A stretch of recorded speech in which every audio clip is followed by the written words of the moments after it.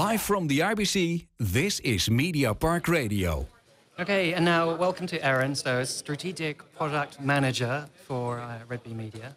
Hello, thank welcome, you. To, welcome to IBC. It's great to be here. Thanks for having me on. Uh, you're welcome. Now, uh, no pressure. Uh, I want you to tell us and all of our listeners, thousands of listeners, all about uh, Red Bee Media. Absolutely. Well, uh, Red Bee Media has a very rich history. Uh, we uh, have our roots back uh, with the BBC. We uh, started life really as uh, BBC Broadcast Limited and became Red Bee Media in 2005.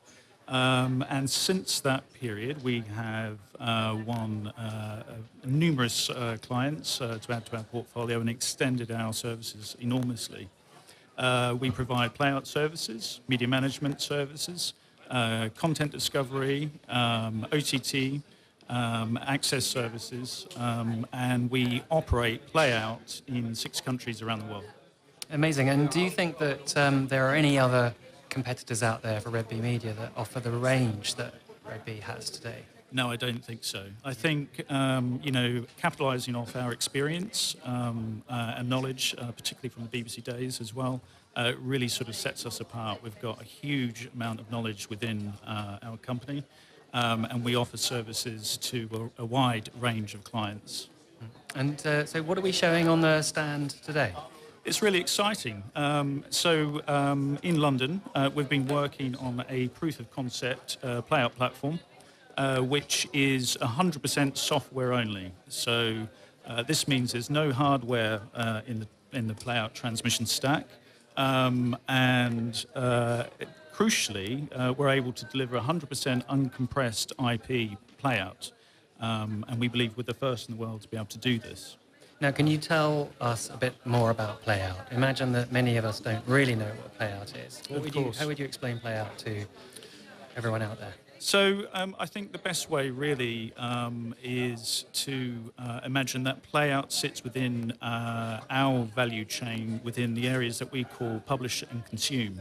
Uh, we use the terms publishing and consumption to collectively describe the process of transmitting content to audiences, uh, whether that be linear playout, um, VOD, uh, satellite, or IP. Um, and essentially, uh, Playout is uh, taking a schedule which is typically prepared by a customer um, and playing out each item uh, live to air to an audience. Um, and it can be through different mediums, as I say, OTT or VOD as well. Um, and uh, we can also add all of the different elements into that package, such as voiceovers, graphics, um, and everything in between. Mm, I mean, I remember I've had this discussion with several clients in the past, whereas that we're really the last uh, editorial touch point That's between, right. before the uh, the signal leaves and heads out into the uh, universe for, of TV and OTT. Absolutely. So um, you mentioned earlier on about um, what we're showing on the stand. Talked yes. about uh, this our virtualized uh, software-based playout. Um, what do you think are the driving reasons for change? Why are Red Bee Media developing that kind of technology for its customers? So I think uh, there are probably three main reasons really which are driving us um, and uh, the industry as a whole to adapt and change. Um, and I think it's no illusion that there's a technology evolution taking place. Um, you know, the way that we consume uh, and watch media is changing rapidly.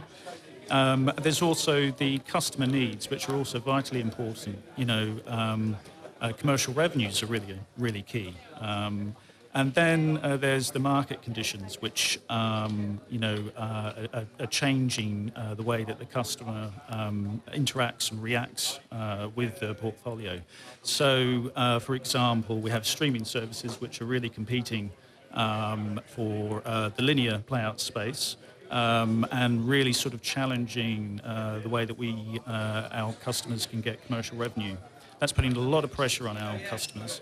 Uh, and equally, um, for content creation, um, that is becoming more and more expensive. So, um, you know, the, the, way that we can address those needs really is by exploiting uh, the technology evolution that's taking place uh, to meet those market needs, but most importantly, um, and which is our uh, main focus, meeting those customer needs. And we talked about customers Do you feel that they are under threat at the moment in traditional broadcasting from the FAANGs of this world, from Facebook, Amazon, uh, Google? Are they and Netflix? Are they? Do you think they're actively seeing a challenge coming in, which which is affecting their audience figures? Do you, and do you think that in turn is changing the way they want to do business themselves? Absolutely. It, it definitely is changing the way that they want to do business. Um, I mean, as we know, there's uh, a lot of competition for uh, channels out there. Viewing figures aren't what they used to be in the 60s and 70s, for example. There's a lot of choice. And the way that we can watch that content um, has exploded exponentially, uh, either online or in the multitude of channels that are now available.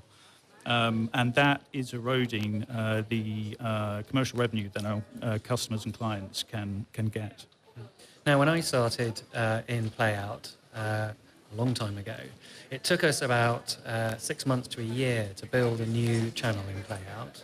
Uh, my Yes. first one being BBC HD service. Oh, yes, I remember that well. Sorry about that. Um, but uh, tell us about what, what kind of timescales we're looking like now. What can Red Bee Media promise its customers when it's looking towards building a new service? So I think uh, that's definitely one of our uh, unique selling points at the moment. As part of the proof of concept that we've been uh, developing in London, um, we've been able to uh, massively speed up our deployment of channels and services. Typically, it would have taken uh, weeks or months um, to uh, spin up and configure a channel for broadcast now uh, through the work that's happened through uh, previous contracts, but also uh, the work that we've done on the proof of concept, uh, we're able to spin up uh, new services and channels within hours. And that's a huge advantage. Uh, it means, you know, uh, a customer, if they wanted to, uh, could uh, spin up a channel, uh, a pop-up channel with very little notice. And indeed, um, what we're showing at the moment um, here at IBC is um, uh, remote access into our proof of concept playout platform. Uh, we're able to remotely control that platform, um, and um, uh, what we see is 100% uncompressed signals uh, via IP, which that- is world first. That remote um, kind of principle is really important, isn't it? Because when, certainly when we started out, you saw that the technology and the operations and the monitoring all had to be very tightly located in That's the same right. premises, and much of that meant that we had to be in our customer's location as well. Indeed. How is that changing in the new technology environment? So, um, yes, I mean, as you say, traditionally playout services have um, come from co located facilities, whereas you say the um, operational team have been in the same space as the um, hardware, um, the technology. Um, and we still offer services on those bases, particularly for our most complex channel scenarios. It probably still is the best way at the moment to be able to deliver those services. But in, increasingly, however, we're moving into a remote based model uh, whereby uh, the technology is operated remotely uh, over IP um, by an operational team that is not in the same place. And I think that's really important. It allows us flexibility and agility in many, many ways. What, do you think that adds extra new challenges to the way in which that business model works, not being down the hall from the customer? Yeah, I mean, uh, you know, you have to be pragmatic. Um, it does mean that you need to think about how you would address technical issues or uh, interact between uh, remote teams, um, operational or engineering teams. But um, through the experience that we've gained uh, over the last few years, we've become quite adept at that. And now you mentioned earlier on about speed uh, being a key issue and being Yeah. able to spin up a new channel within, you know, literally hours. Um, what kind of use cases, from a customer's perspective, would that be useful for? So uh, you could imagine a, uh client or customer might want a temporary uh, pop-up channel. Say that they had some content that they wanted to play over Christmas, um, but only for that short period of time. Um, traditionally, it would have been far too expensive and cumbersome to set up a channel just for a very short period of time. Um, now, however, they will have the opportunity to be able to do that with very little notice, which means that they can extend their portfolio and attract new commercial revenue opportunities. Very good. Now, um, what kind of customers and markets do you see will be most interested in this new type of technology? I think it has a far reach. Uh, typically, um, you know, we're initially focusing on what we term as thematic uh, channels, and that is channels that traditionally have pre-recorded content um, and are planned and scheduled quite far in advance. Um, However, um, there are obviously other opportunities within that to extend to live content as well. Um, eventually, uh, we intend to, to, roll this out to very uh, complex channel scenarios as well. Um, but there's also, uh, really importantly, the opportunity for what we term uh, low, uh, low cost or simple channels. Uh, and they're the types of channels that play out content that, you know, it might be a Barker channel, it will have no graphics at all, very, very simple. Um, but we'll be able to uh, offer those uh, customers an opportunity to get into the broadcasting space very cheaply. And do you see that there's any synergies with the other service lines that Bee Media offer? Are you offering um, virtualized playout as one uh, core area, or can you easily then bring in things like access services and content discovery and OTT? Um, indeed, at the moment, working very closely with media management. Um, obviously, that's an important part of our business um, and uh, very key to successful playout. Um, I can uh, definitely envisage that we'll be working very closely with our other partners within Red Bee, uh, Access Services and OTT. Uh, now, uh, on a completely different subject, off, off playout, so off your, uh, your kind of specialist subject, um, let's talk a bit about um, growth mindset because uh, Gary earlier on told us about how important it is, not just in his um, students, but also now increasingly in industry about taking on new skills. How did you how did you get to the role you are today, and how important is learning part of your job? Oh, you know, learning is vitally important, and I think um, it's safe to say there hasn't been a day where I haven't learned something. Um, every day I'm learning, uh, and I'm very humbled, um, particularly with the rate of technology uh, evolution. Um, so I, I, I, started working as uh, what we call a playout director, uh, working for the BBC, uh, UK TV, um, and numerous other clients as well. And a playout director works in the playout control room, um, and they uh, basically bring all the content together and they put all of those elements that we discussed before together uh, and put that live to air. Um, I worked in that capacity for a number of years before uh, being promoted to an operational manager for the BBC portfolio channels, uh, where I held that position for eight years before moving into my current role. Um, I think you know learning is extremely important. Um, you need to be very motivated and interested and excited in technology and broadcast, um, because if you're not, you, you can't keep up with the rate of change. Mm. And do you think operations knowledge is so important in the product? kind of line now? Do you think, do you see it's more about operations or technology, or does it not really matter? It's about passion for the customer? I see it as a blend of both, um, and including passion for the customer. You know, um, absolutely, our customer focus is really, really important. You know, what, what it is that they need, we need to, to keep that in mind. Um, but how we deliver things operationally is really, really key too. Um, there's no point trying to do something um, that we can't deliver. Um, so for me, I found it's really uh, been quite beneficial being able to capitalize off my operational experience, um, to have experienced uh, life um, at the cutting edge, so to speak. And technology is increasingly more important these days.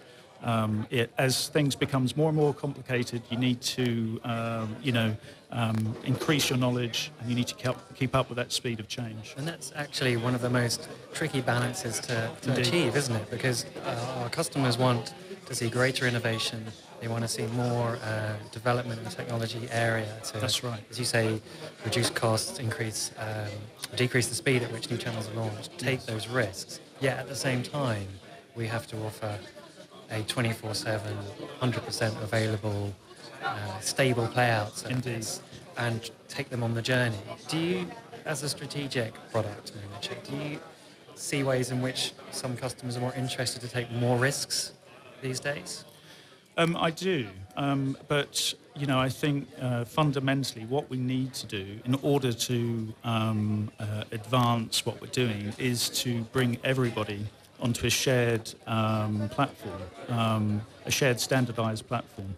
It is only through uh, really doing this that we can then offer our customers the flexibility and agility that they're asking us for. Um, it's, it's, it's, really vitally important because it's only then that we can reliably uh, predict the cost and process for affecting change uh, once we're operating using the same tools for um, serving all of the customers we have. Okay, now um, you've only just arrived at IBC yes. today. um, and I just wanted to know if you have you already spotted what you would really like to go and look at when we let you off the stand. Is there something there that you're really excited about in the rest of the uh, exhibition?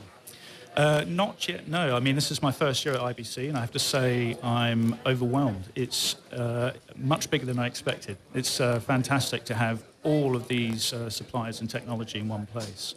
Um, I haven't had time yet to, to have a look, but I, I, hope to do so for the end of the day. If we let you off the stand. If you let me off.